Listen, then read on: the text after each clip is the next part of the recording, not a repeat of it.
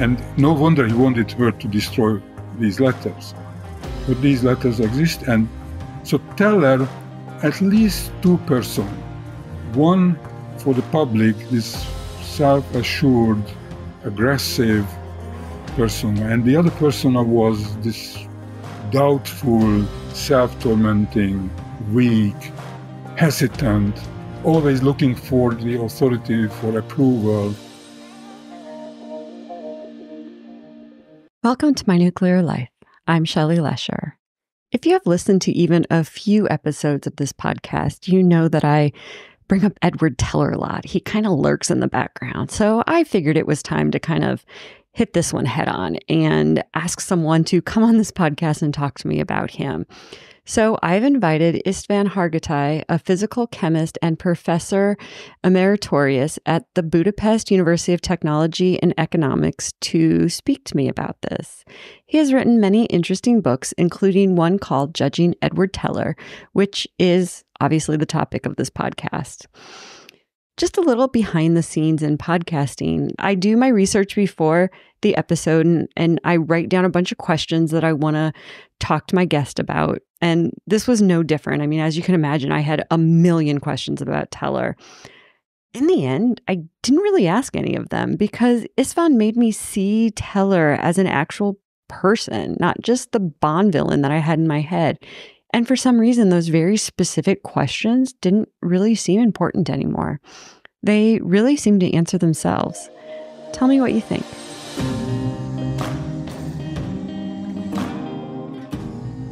So, I've been reading your book on Teller, and I will say I am very surprised because the image I had of Teller in my head was not reflected in what I read about Teller. I guess I saw him as in his later years. I saw him as the Livermore director who just wanted to use his hydrogen bomb to kind of destroy the world. But that is definitely not not the image. This is already a mistaken notion. The one who advocated using nuclear bombing was von Neumann. After the war, he made a statement that there should be a preemptive strike, nuclear strike on Moscow. If you tell me tomorrow, I tell you it should be today. If you tell me in the afternoon, I would tell you why not in the morning or something like that. I'm paraphrasing because I, I don't remember word by word. But this is a kind. Teller, on the other hand, he always emphasized defense. If you read through my book, you will see I'm not biased for Teller, but I am very biased for at least trying to be objective. He, true, he was not only an experimental scientist, a theoretical scientist, he was also a political scientist. His consideration was more protecting the United States and protecting the free world from the Soviet Union rather than preemptively bombarding the Soviet Union. So that's surprising because I've never heard of that side of of von Neumann, the side of saying let's attack the Soviet Union, let's you know, kind of destroy them. Not necessarily destroy the Soviet Union, but definitely bomb Moscow so that Moscow could not initiate war or follow up its imperialistic intentions and so on. I don't think they wanted to destroy the Soviet Union as such. In a way, I'm not surprised by what you are saying because Teller polarized people very much so. He was a very poor politician. Von Neumann was a much better politician because he didn't argue for his views. He stayed more in the background. Of the five Martians, von Karman was similarly more staying in the background, giving advice. And so was Wigner. Leo Szilard and Edward Teller were the ones who, who like put themselves out into the front line and represent their views strongly and vocally and visibly. So we mentioned the Martians. Who are the Martians? Why were they called Martians? My definition for the Martians of science is five brilliant scientists who were willing to risk their scientific careers in order to devote themselves to the defense of the United States and the free world during the Second World War and during the Cold War. Now, this is my definition, and it was also Edward Teller's definition in his memoirs. Some other people, including one of the late leading science historian, physicist, who said that the Martians were the people who emigrated to the West and made Hungary famous in the West. This is diluting the definition of the Martian because I should add also that all five of them came from upper middle class Jewish families in Budapest. And there was a tendency, and there has been a tendency to downplay the Jewishness of, of these people or anybody who becomes famous and very successful. So they concocted this general idea that the Martians are these famous Hungarians in the West who were curious to go to the West to find out and became successful. But they weren't just curious, they gave up their careers to come to the US. No, they didn't give up their careers, but they risked their careers and they went to the West not just because they were curious, they were persecuted. There was Hungary was very anti Semitic. There were anti Jewish laws, so they felt they had to leave. This should not be masked. Now, you asked me where does the, this term come from?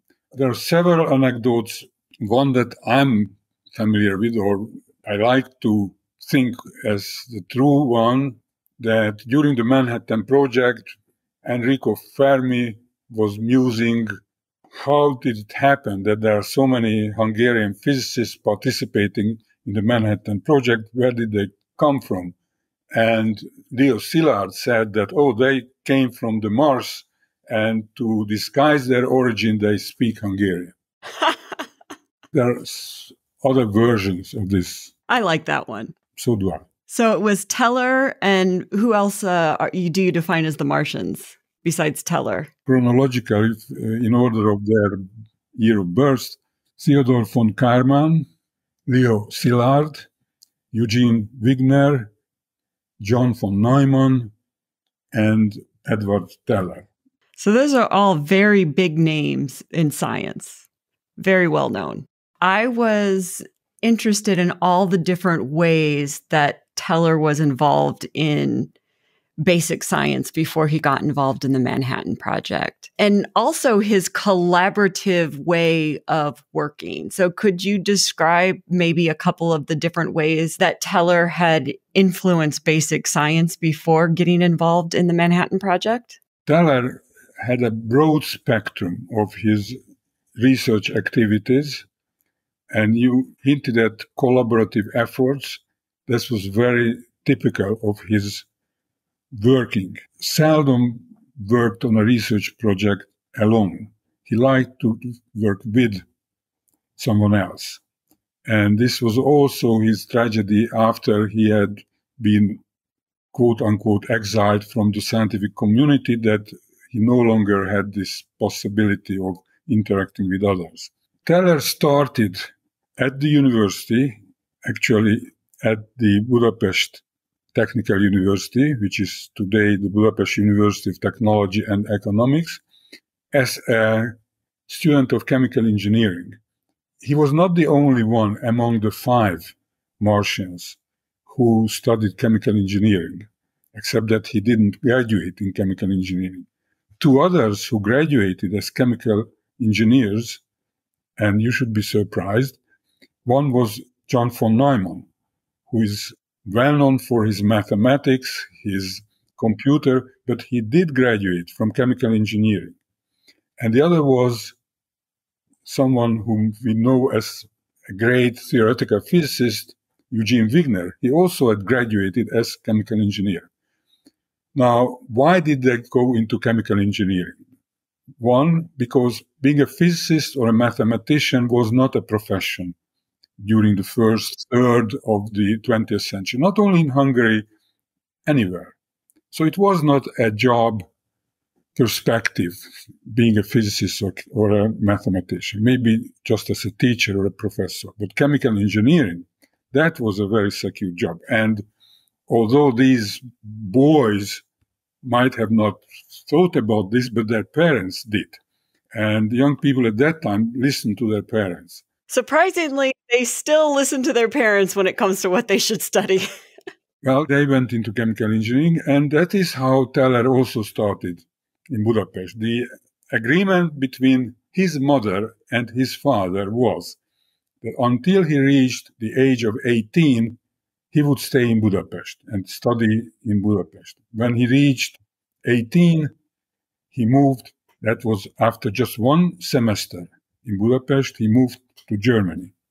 And in Germany, for a while, he continued in chemical engineering, but was shifting more and more toward physics. First in Karlsruhe, then in Munich, and finally, he completed his studies at the University of Leipzig under Werner Heisenberg. And that is where he did his doctorate. You see, the borderline between physics and chemistry, physics and physical chemistry, molecular physics and physical chemistry, that's very uncertain. So his dissertation was about the hydrogen molecular ion. Now, this is possibly the simplest chemical entity. It's H2 with a positive charge. That means two protons and one electron. You know, an H2 molecule, which would be neutral, would be two protons and two electrons. This was one electron less, and this is why it was a molecular ion rather than a molecule. But it still be considered physical chemistry or molecular physics. That's where he did his doctoral thesis and defended it. And so he was doing physical chemistry, molecular physics for the next few years. I would say some of his work was purely physical chemistry and not physics, like his participation in studying the mechanism of adsorption. Adsorption is when, say, molecules stick to the surface. That's adsorption in a, maybe in a somewhat unsophisticated way to explain. You are a physicist, right? Yes.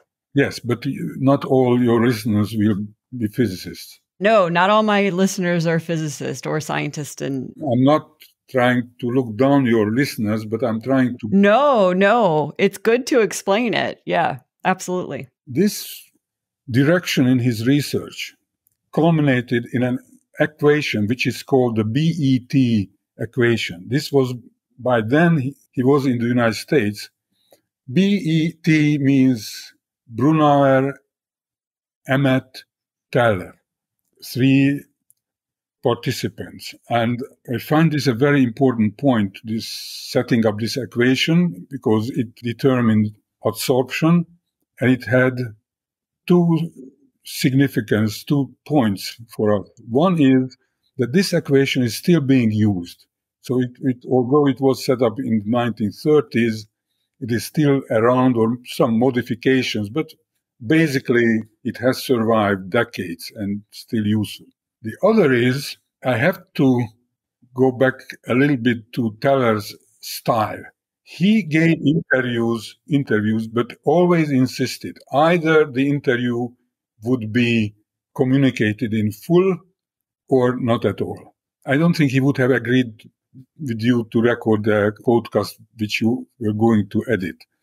And actually, I follow his rules, but not in your case and not, not in such obviously, hopefully very honest case, case. But I just turned down, down two interviews in Budapest because I was not sure that cutting and pasting and editing would result in what I would have liked to communicate. And Teller was very insistent on this. And my wife and I recorded a long conversation with him in 1996, I think. And our technique was that we would transcribe the interview, send back to the interviewee. We are not journalists, so we, we would let the interviewees change whatever they liked. Teller only corrected the grammar and, and his editor also helped, whom I then got to know her very well, who, who helped him write his memoirs. But there was one point which very uncharacteristically Teller asked us to delete from the interview. And I think this is the single time when he did anything like that. And this was in connection with what he said about the BET equation. And this is why I'm bringing this up at this point. He said, when I showed some unfamiliarity with this equation, the details, he said, Oh, that's awful. That's terrible, terrible. He liked to use this word terrible. I can't, probably I can imitate his Hungarian accent. But anyway, he said, This is the one for which I should have been received the Nobel Prize. I should have received the Nobel Prize. And he wanted this to be deleted, this comment from his interview, which we did in the printed version. We omitted this. But I'm telling you this because he's long gone, and I think this is a very interesting point. That this is what he found very interesting, very important, and truly an important criteria of the Nobel Prize is to make it useful, to have it for the benefit of mankind. And this was really, I mean, for determining surface areas, this equation is used. In mining, this is an important tool to prevent explosions, unwanted explosions of the gases in, in the mine. So this equation really served the benefit of, of mankind. He just as well have, might have received the Nobel Prize for it with his two colleagues, of course, Brunauer and Emmett. So this is what he wanted to leave out. This was again a physical chemistry contribution, and he had others also. When he moved in 1935 to the United States, and he went to GWU, Washington University, at the insistence of George Gamow. Gamow insisted not with Teller, but the leadership of the university that they should invite Teller to be full professor also, because Gamow, a Russian refugee from Soviet Union, insisted that he needed a partner. And apparently Gamow was also one who could create best when he could cooperate with someone else, and that was Teller. And for years they worked together. Teller liked to get up very late. They went to his office. Gamow already was waiting for him with some ideas, and Teller either disproved or agreed, and then they produced a joint publication. And at that time, Gamow was deep in nuclear physics. And this is how Teller's attention shifted toward nuclear physics. I could elaborate examples from molecular physics and physical chemistry, but wouldn't feel comfortable telling you examples from his nuclear physics. So this is, we can move on. Okay. I think the BET equation is actually a really good example, especially since it was so transformative to the field and people are still using it. So, with that collaboration, was it hard for Teller when he went to Los Alamos to kind of be put in a group by himself almost? Again, if you are not hard pressed, pressed for time, I would go back to his childhood, school years. I'm not hard pressed for time. He was a very lonely person he was not much liked by his classmates until he really tried hard and helped his classmates and gradually he became popular. And he kept staying popular among his colleagues, probably up to the Manhattan Project, Los Alamos. There, something happened. He didn't like to do routine calculations. He wanted to think more about the fusion bomb, the hydrogen bomb, which was not a timely issue at that time. They had to create the atom bomb. The atom bomb was not a challenge in the sense of how to make an atom bomb. But the hydrogen bomb would become a challenge because even after the pre- president of the United States had decided to develop the hydrogen bomb, nobody knew exactly how to produce it. So Teller liked to think about this also, he may have been heard when he was not appointed head of the theoretical group. So, with this almost uh, like a prima donna behavior, he was losing some of his popularity, not entirely.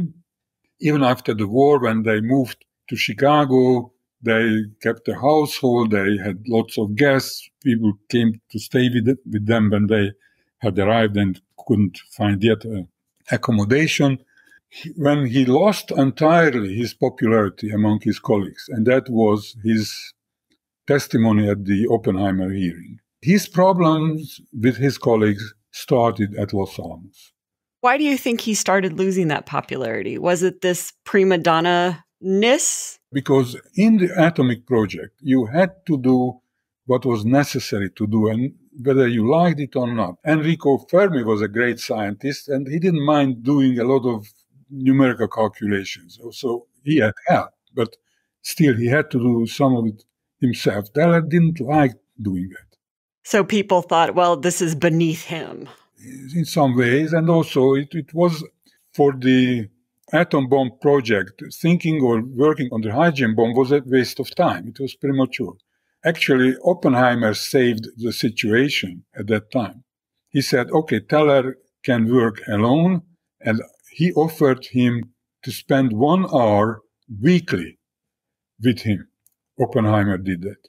Oppenheimer was terribly busy, must have been, but he offered and kept his word. He spent one hour every week from that point on during the Los Alamos project, the atom bomb project, spending with Teller, discussing what Teller wanted to discuss and so on. Was Teller happy with that amount of time and with that arrangement? Well, it was a great privilege because Oppenheimer's time and attention was at premium. And yes, that, that was good. They, they had other clashes because once they were traveling on a train and they were having a conversation, and at some point, Oppenheimer made a, a very surprising remark, surprising for Teller, that hopefully when this will be over, we will get out of their jurisdiction, meaning the authorities, the military, and so on. And Teller wasn't thinking in, in such terms that he would have felt uncomfortable being in this system. Whereas Oppenheimer apparently did. But of course, Oppenheimer had a very complex character because he, on the one hand, he was thinking this way. On the other hand, he was more accommodating with the military than the rest of the science. When the General Groves suggested that the scientists put on a uniform and take scientific uh, military ranks. He went along with that, but the others protested. So finally, this didn't happen. The scientists remained civilians during the Manhattan Project. So Oppenheimer was accommodating, but was resentful also. So Oppenheimer wanted the Los Alamos to close after the war, but Teller was not in favor of that? Teller didn't see the end of the project at all. Oppenheimer thought that mission accomplished, as many people thought. And Teller knew that was not the end of it, because he knew, already had been thinking about this for years by then, that the hydrogen bomb should be developed. And why did he think, besides it just being a really interesting problem, why did he think the hydrogen bomb needed to be built? Okay, of course, it was an interesting problem from a physicist's point of view, but he was afraid of the Soviet hydrogen bomb, which most other people, politicians and scientists alike, thought that the Soviet Union would be unable to develop.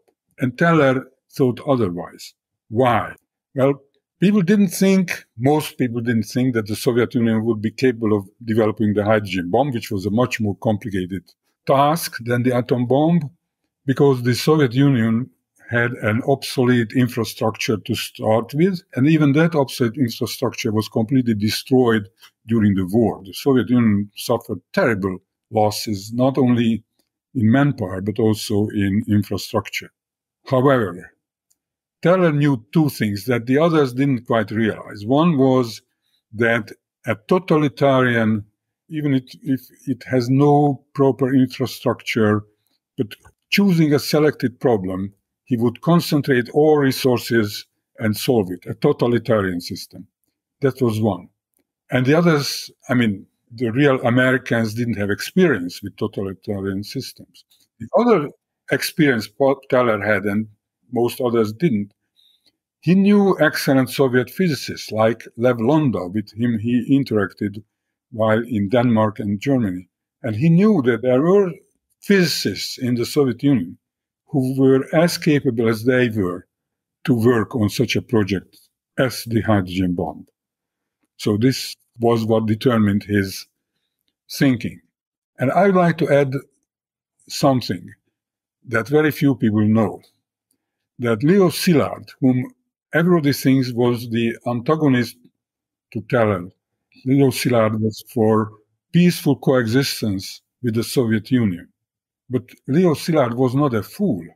He knew that, for example, he, Leo Szilard, wouldn't survive living in the Soviet Union in a totalitarian system. And he also knew that only a strong America could counterbalance the Soviet Union. So he supported Teller. But very few people know this. Yes, and it has been documented. I, I myself was looking for such proof because this was, in a way, unexpected and to most people unbelievable. So there was a speech by Leo Szilard in 1954 in Los Angeles, but it was for Brandeis University, which is not in Los Angeles, I know it is in Massachusetts, but there, there was a circle of friends or some event for Brandeis University where Leo Szilard was invited to give a speech. And he spoke about this, that he supported Teller, and he told a very funny story. It's a Szilard-esque story, must have been true, that he mentioned to a government official. Leo Szilard mentioned to a government official that it's a pity that Teller alone advocates the importance of developing the hydrogen bomb in the United States, or one of the very few, and then that government official warned Szilard, please don't talk about this publicly, because if the Soviets get to know this, that Teller is the one who is advocating the development of the hydrogen bomb, they will do everything to make him impossible. To they will.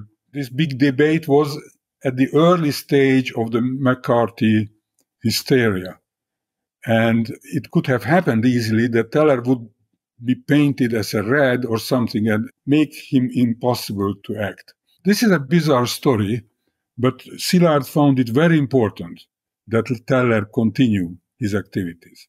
Now, this speech exists, I mean, the description of this speech exists, but I still didn't think this was proof enough that it did happen, this speech. So I was looking for some additional evidence.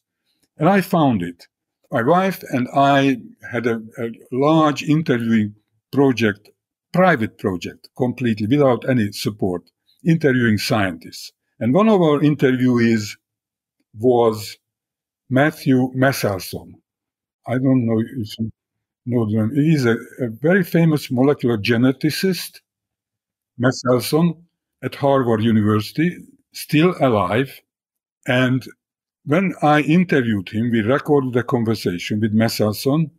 It happened that he was a student at the California Institute of Technology when Szilard came for this visit in Los Angeles, and Meselson was asked to be a chauffeur for Szilard. Szilard didn't drive. I'll come back to this Szilard didn't drive point a little later. So Meselson was present with Szilard, and more than that, Szilard practiced his talk in front of Meselson. So Meselson, this great authority in science, Harvard professor, told me that he could fully support that this is how it happened. This speech did happen. Szilard said all these things, what is in this description of this 1954 Brandeis talk in Los Angeles. And I published this. So it, it is printed. I think this is a great story. It is. And that's very surprising from everything that history has kind of written and idolized about Szilard. And we can still idolize him. And I think what he did in this case, you see, you can say many negative things about Teller. One of the negative things people like to say about him that he created this hydrogen bomb. First of all, he didn't create it alone. Especially, he didn't decide himself. It was President Truman who decided that the United States should develop it. But that the United States did develop the hydrogen bomb, I think it's a very positive feature in our history. When I say our history, I don't mean American history. I'm not an American. In the history of mankind. Because this, in the Soviet Union, while in 1949 the Americans were still debating the question of the hydrogen bomb, whether the United States should develop it or not, in the Soviet Union, Stalin already ordered in 1946 to develop the hydrogen bomb in the Soviet Union. Now, in the United States, among the scientists, this debate was raging on in 1949. Most scientists, and especially the members of the General Advisory Committee of the Atomic Energy Commission, all of them were against developing. There were two differing opinions. Oppenheimer and his colleagues, and this was the majority opinion, said that the United States should show an example not to develop the hydrogen bomb, expecting the Soviet Union to follow it. The dissenting people, that was Fermi and Rabi, Isidor Rabi, they said the United States should make a pledge not to develop. Of course, these two opinions, setting an example or making a pledge, these are not very different opinions, but both opinions were against developing the hydrogen bomb. So it was a very strong voice. And that is what the scientists advised to the Atomic Energy Commission. Then the head of the atomic, the chairman of the Atomic Energy Commission, the Secretary of State, and the Secretary of Defense or Secretary of War, I don't know exactly what was the designation at that time, in 1949. This was this three member panel that advised President Truman.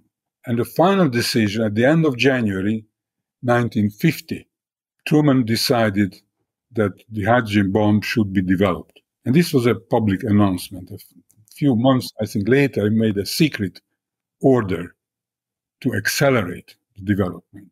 So it was not Teller's decision, but he and a few others advocated that it should be important because the Soviet Union, and today we know that this was crucial. At that time, people couldn't know. People could not know.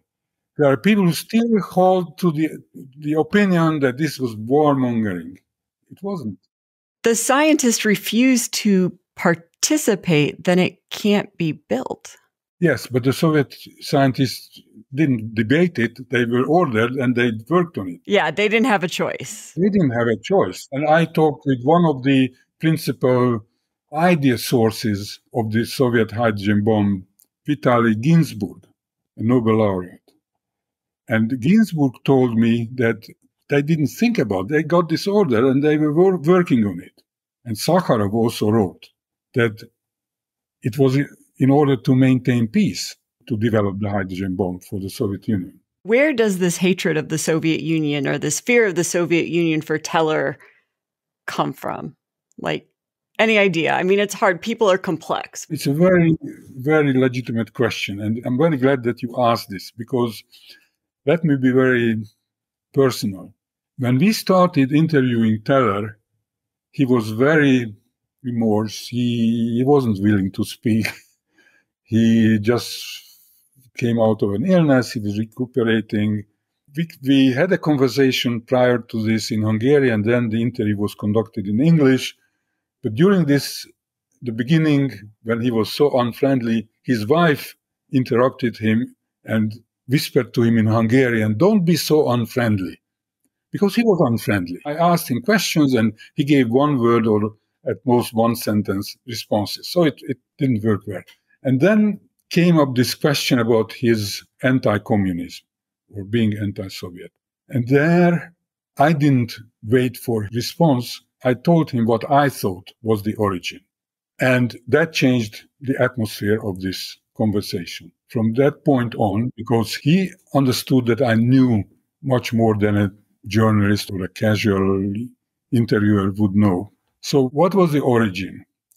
There are two principal sources. One was that his very good friend, who later became an important professor at MIT, Laszlo Tisza, the physicist, at Teller's recommendation, when Tisza could not get a job in Budapest, Tisza went to the Soviet Union. This was in, in the 1930s to Kharkov, which is Kharkiv in Ukrainian. You know, at, at, at some time, Kharkiv was the capital of the Ukraine. And there was a very ambitious physics institute. And Landau was there at that time. And Tisza became a graduate student of Landau and earned a second doctorate. Tisza had already earned a PhD. But then in the Soviet Union, he got a second doctorate. To add to this, Landau was one of the greatest theoretical physicists in the 20th century. Now, one of the things that was so unique about him, he had a system of, he called it minimum examination in theoretical physics and mathematics. Teor minimum, it was called in Russian, Teor minimum. And during his entire life, and of course his life was cut short by an accident, automobile accident, Landau died in 1968, but he stopped his high level work because of this accident. He stopped doing this kind of work in 1962, and he was born in 1908. He was 54. His entire career, he had 34 people, 34 physicists who had passed this theoretical minimum examination. So Laszlo Tisza was one of the 34 who passed this examination and the only foreigner ever to have passed this examination. So this is, I'm just characterizing the caliber of Laszlo Tisza as a scientist. When Landau suddenly left Kharkov, Kharkiv, and went back to Leningrad, as it was called then. And people started disappearing at this physics institute in Kharkov because of this terrible terror of Stalin. In the middle of the 1930s, Tisza left, came back to Hungary, and told Teller about all these terrible things, what was going on in the Soviet Union. This was one source for Teller to learn about the nature of the Soviet system.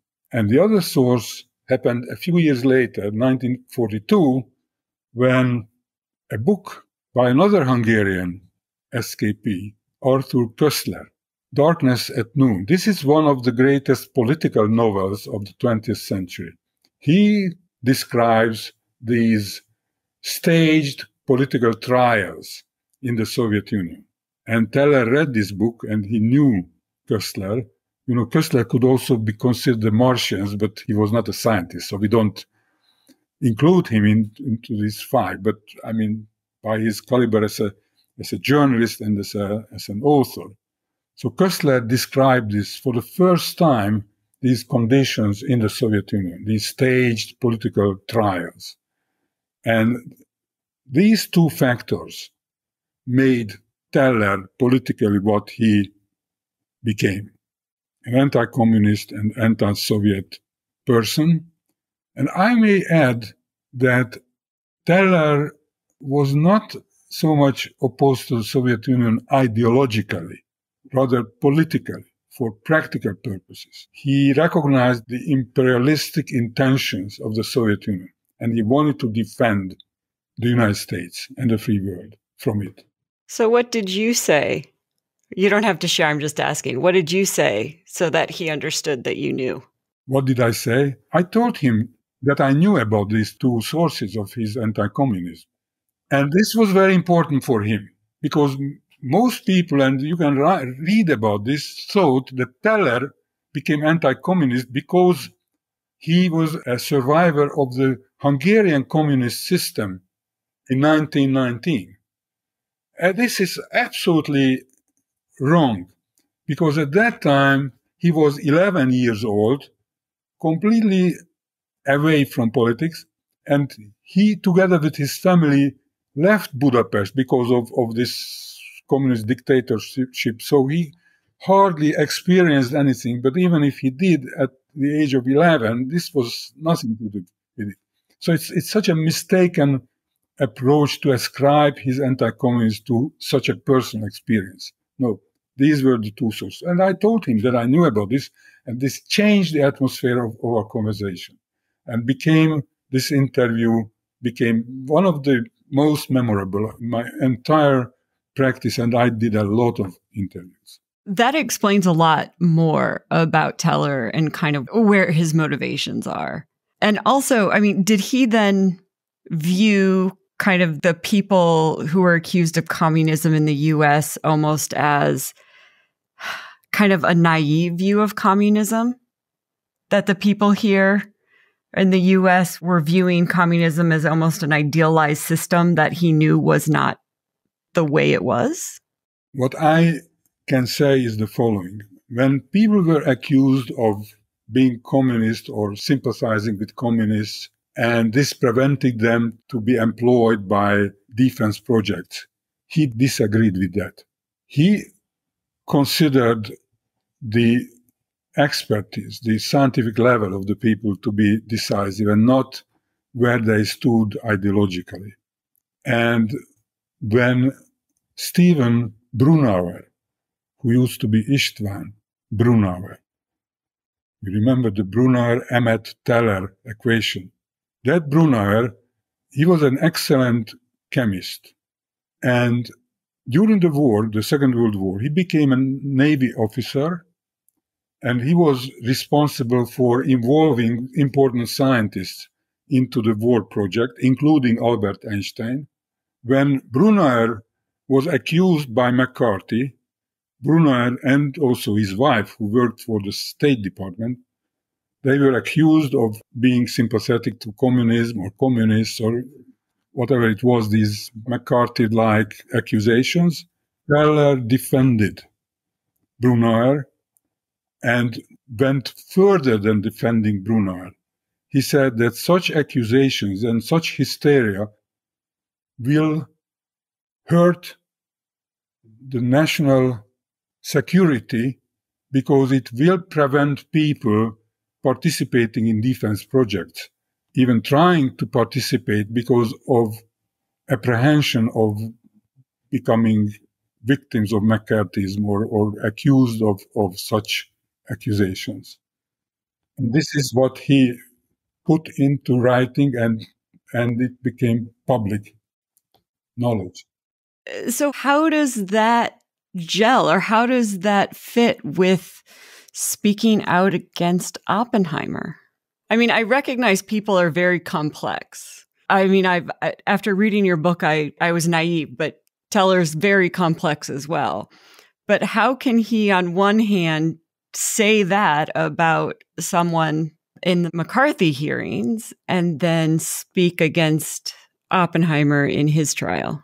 At this point, I must be subjective. I mean, what I'm going to say now is I cannot support with documents something I will be able, and that I'll tell you. I think there were two sources of his antagonism in case of Oppenheimer. One was a personal antagonism, which is hard to explain, but you know, personal feelings play a role whether we like to acknowledge this or not. But objectively, Teller saw in Oppenheimer someone who was trying to sabotage his efforts to advocate the development of the hydrogen bomb. And Oppenheimer was a very forceful and a very important factor in this. And this Teller could never forgive. Let's go to his testimony at the Oppenheimer hearing. Most people now agree that Oppenheimer's fate had been decided already when Teller gave his testimony. You know that too. I mean, his fate was sealed before he even stepped in that room. But still, Teller's testimony was very important, not for Oppenheimer, but for Teller. His testimony consisted of two parts, and he was a very clever person. And this is how people remembered exactly what he said. Okay, I'm not, I will not be able to remember exactly what he said, but he said the following. First, he said Oppenheimer is loyal to the United States. This was a very forceful statement. Also, this statement created the idea that Teller is, if not necessary, favoring Oppenheimer, at least he's objective. He said Oppenheimer is loyal. But the next sentence said, he is so complex that I would not trust him the secrets of the country for national security. How can both of those be true, though? Oh, yes, very easily. Because you are loyal, and then you have a lot of secrets, and unknowingly you are giving out these secrets because because you think this is my friend or this is another loyal person. You know, if you have a secret and you mustn't speak about this, then you must keep it regardless whether you like the other person or not. So Teller said, Oppenheimer is so complex, I wouldn't trust him with, with secrets. So the security clearance should not be prolonged. That was even more powerful because of the first part said that, oh, he's very loyal. If you read Teller's memoirs, he writes about it that he went into the Oppenheimer hearing with the intention of defending Oppenheimer. But due to what he had heard at that hearing, like that Oppenheimer concocted stories about his pupils just to please the, the military, he lied, he told them stories which were not true and so on. This changed Teller's mind, Teller said. Now, here I can be factual that this was not true. Why can I say that? Because my wife and I researched the Hoover archives and we found FBI hearing of Teller years before that, years before the Oppenheimer hearing, where Teller said that he would do almost anything to prevent Oppenheimer to stay in leadership position or stay in a position where he can make decisions and so. So he had to go into the hearing with the intention of denying security clearance or the, the continuation of security clearance because Oppenheimer had security clearance that was being terminated. And this is this tells something about Teller's honesty. I mean, his goals were commendable, but he the means he was trying to reach them sometimes were terrible. And I think how he remembers it in his memoirs says that he's a little sorry about what he did.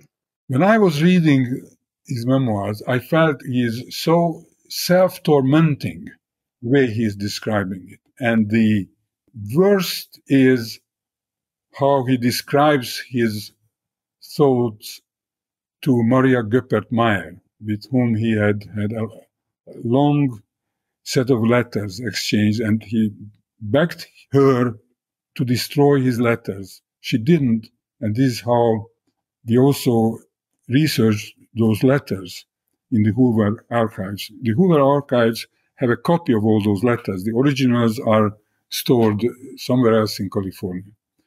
And at one point, Teller writes, I think I'm just developing my backbone. I might have not had a backbone before and I'm not even sure if it if it is developing in the right direction. This is tremendously hard to read. How could he torment himself? And no wonder he wanted her to destroy these letters. But these letters exist, and so Teller had at least two personas. One for the public, this self-assured, aggressive, persona. And the other persona was this doubtful, self tormenting, weak, hesitant, always looking for the authority for approval, and so on. Wow. I mean, I'm glad she didn't destroy those letters because it gives such an insight of what he was. This is historically important. We'll have a, a paper about this in the next issue of the Bulletin of the History of Chemistry or something like that. Of the American Chemical Society has a journal. Was he surprised the way that the community responded to his testimony? and the kind of the fallout of it of being kind of rejected by yes i'm sure that he must have been surprised at the beginning and then eventually got used to it the why i'm saying that he must have been surprised because the next time after the testimony he went to los alamos and he stretched out his hand. People didn't take it. And he had to withdraw his hand. And that he offered a handshake shows that he didn't expect this reaction. And if we can make a big jump about handshaking, let me say this was one handshake episode.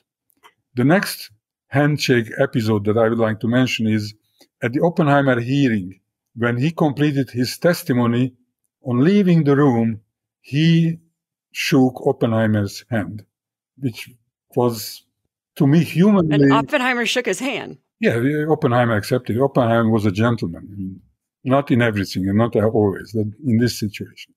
The next episode I want to mention is the Oppenheimer film. When Oppenheimer receives the Fermi Award, and then Teller wants to shake his wife's hand, and his wife refuses. This didn't happen. It didn't. It didn't happen it was the film, the way of the film concentrated things. It came out very well, but factually, this didn't happen. But it is all right. The film, you know, this is artistic freedom. It is all right. So I'm not mentioning this as a criticism of the film. I'm just mentioning this because it is part of this story. And the last episode I want to mention to you is when in 1987 there was a White House reception honoring Gorbachev visiting Washington. And Reagan, President Reagan was introducing Teller to Gorbachev, and he said, This is Professor Teller, Dr. Teller, I don't know. And Teller stretched out his hand. He wanted to shake Gorbachev's hand, and Gorbachev kept his arm rigidly at his body. So Reagan thought that Gorbachev didn't hear, repeated, This is the famous Dr. Teller and Gorbachev wouldn't accept Teller's outstretched hand. And Teller walked away, not with a sorrow, but proudly that the president of the Soviet Union found him so important that he was willing to provide this terrible behavior to express that he found Teller so important. Wow, that is an interpretation, yeah. But the problem is that this probably didn't take place, this whole episode. You see, about this reception, I read whatever I could in the press. And the descriptions are so detailed about every piece of women's dresses, every drink, everything. And not a mention of this episode, which must have been the, one of the highlights of the reception. I wrote a letter to Secretary Shultz, who was no longer at that time the Secretary of State, but he was there and he didn't seem to remember any such thing. So I don't think this happened. I think it happened only in Teller's imagination because this handshake business must have been so much on his mind. I'm not saying that he lied necessarily. I think that this is how he imagined it. His memoirs contains such stories that he must have imagined but did not happen. Well, memory is a really tricky thing. Did Teller keep in touch and remain friends with the other Martians since they had a similar background? Sometimes people say that these Martians were networking in the, in today's sense. I don't think so, but they they had interactions. Yes, they had interactions. I had already mentioned von Karman and von Neumann. That von Karman involved von Neumann in the in advising the U.S. Air Force, for example, Teller and Szilard had public debates on television and very entertaining debates. Like one of them suggested that they shake hands, again, a handshake, shake hands before the, the debate becomes very violent or something. So they shook each other's hands uh, at the beginning, lest they might not be able to do so later. They had debates, but they behaved civilly. Like Teller gave some of his time to Szilard when he felt that Szilard couldn't finish what he wanted to say and so on. And of course, they had opposing views about nuclear testing, about peaceful coexistence with the Soviet Union, and, and so on. Now, Wigner and Szilard were also good friends, but they were not intimate friends. In English, you don't have this more polite and less polite form of speech. But in German, there is. In Russian, there is. In Hungarian, there is. So they didn't use the, this familiar way of addressing each other, and they didn't call each other by their first names in their correspondence. Very often they just use their last name. So it, the, the interactions were not intimate. Yes, they were friends with some limitations. And people agree that von Neumann might have not had friends, you know, real friends, because he kept people at a distance. And I think von Karman too. I think probably all of them. Teller might have wanted to have close friends, but somehow he might have not been able to. I don't know. They interacted, but they were not friends in this noble sense of the word. So you think Teller was lonely? Yes. That's sad. And that explains also his correspondence with Maria Goeppert Mayer. His loneliness shines through those letters. And she seems to be the only person that he thought was a friend or confidant in some I way. would call it a soulmate rather than anything else. Which apparently his wife wasn't. It was a very good marriage, but apparently they were not really soulmates because Teller seems to have needed another person. You have definitely changed the way I think about Teller. He definitely seems much more like a person now. This is how we end our paper for this bulletin that I mentioned to you that why do we write so much about this inner person of Teller? Because we realize that even people who are so important for history, they are also human beings. They have their weaknesses. They are just humans. And I think it's probably good if we realize and recognize that. Thank you for listening, and thanks to Istvan for speaking to me about Edward Teller and the other Martians. I hope you enjoyed this podcast. If you did, please rate or review on the podcast app you're listening to, or tell a friend to listen. Until next time, I'm Shelley Lesher, and this has been My Nuclear Life.